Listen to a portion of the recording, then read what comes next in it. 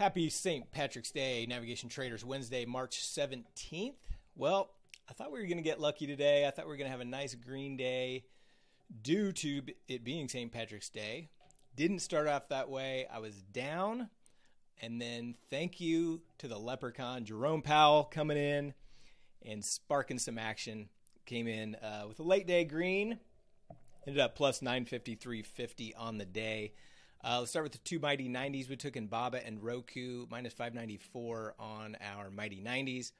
Uh, had a nice pairs trade in Dow versus Nasdaq. This thing was back and forth. I was up a bunch, I was down a bunch, and when I say a bunch, a couple hundred bucks, uh, and ended up taking it off for plus 216.50.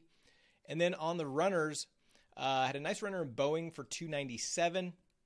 Uh, loser and beyond for minus 416. Disney minus 278. DKNG small winner 117, and then when the Fed announcement came out, jumped in Facebook for 1150 and Tesla for 948, my two big winners that put me in the green for the day, and Twitter minus 487. So let's check these out. I'll show you what we did. Starting with our mighty 90s, uh, Baba. So let's go to Baba. And what we saw here was had this initial push up, nice volume, uh, got short, added it, to, added in here, got our little pullback, but it wasn't quite enough to get us uh, profitable. And I kind of I didn't get a good fill. I was trying to get filled at the bottom here, and it bounced on me pretty quick. So I ended up taking a loss on Baba. And then Roku was minus 180. Let's take a look at Roku. Uh, Roku push up, big volume. I was looking for a potential turnover right here. Yesterday's open didn't push, push, push. Added to it right here uh, at the at yesterday's close. Think we might get a reaction. Pushed up a little bit, then did give us a, a, a pushover. So got some of it back, but still uh, took a little loss in Roku. All right, so those are our mighty 90s. Then on to the runners. Boeing. Boeing, what did we do here? Boeing was plus 297. So in BA, uh, had this initial push up, big volume on this pullback, got long, got out of uh, part of it up here, and then it pulled back and held, held, held, held, and then when it hit the um, unchanged mark here, added to it, and then scaled out of some and held, held, held. Uh, I can't remember where I got out of my last piece, but ended up plus 297 on the Boeing trade. Beyond, Chad's favorite Beyond, uh, and a favorite of the community. Everybody loves Beyond Meat. Uh, got short here. It, it it it it never it barely went positive to start the day, and then just treaded water below yesterday's low. So I got short um, right in this area here, looking for a continuation lower. It pushed up to the top of this consolidation area. I got, uh, I added some. Actually, I think it was about right here. I added some, and it finally flushed out lower. Got at a half, and then it, when it bounced up here, I just closed out the rest. So I ended up taking a loss and beyond. In Disney, Dizzy Disney.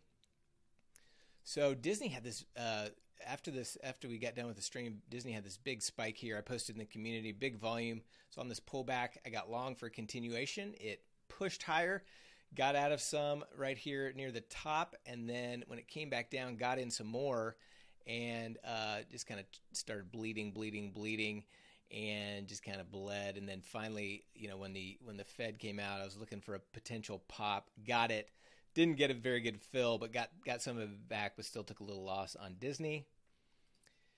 DKNG, uh, DKNG was plus 117. Big volume spike here. Got long in this pullback. Got out of some.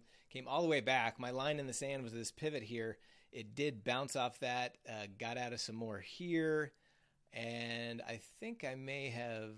I think I may have closed out of all of it here. I can't remember exactly where I closed out my last piece, but plus 117 in DKNG.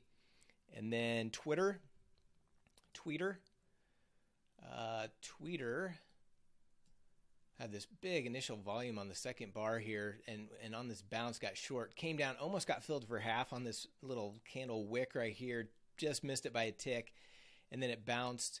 Um, and then I, I got short here again and it rolled over. So I got out of some, but then this thing just kept pushing, pushing, pushing. So I ended up just closing out minus 487 on Twitter. All right, so then the uh, the Fed announcement came out. I was I was uh, listening to it as well as watching the charts, as I mentioned this morning. And so what I did in um, in Facebook was let's show you what I was looking at here. So Facebook was pretty strong all day. I mean, it was just hovering right around unchanged, you know, compared to some of these other stocks. It was staying fairly strong. And then when the Fed came out and made the announcement right here, boom, it pushed up on this pullback right to yesterday's high. It also lined up right with right with this price peak here, so it looked like a good entry. Got long and pushed up. I got out of my last piece right up here at the pivot. So nice, nice uh, 1150 winner there. Nice trade in Facebook, and then Tesla. Kind of a similar thing here. I, I waited a little bit longer to get in than Facebook. Had this push up, waited for this pullback that corresponded right here with the peak earlier in the day. So I got long right here near the bottom. And on this push up right here, I got out of my last piece right there. So plus 948 in Tesla. So plus $953.50. Thank you, Jerome Powell. Uh, I'll take it. Uh, lucky green day today on St. Patrick's Day. Everybody have a good one. We'll be streaming again tomorrow. See you then.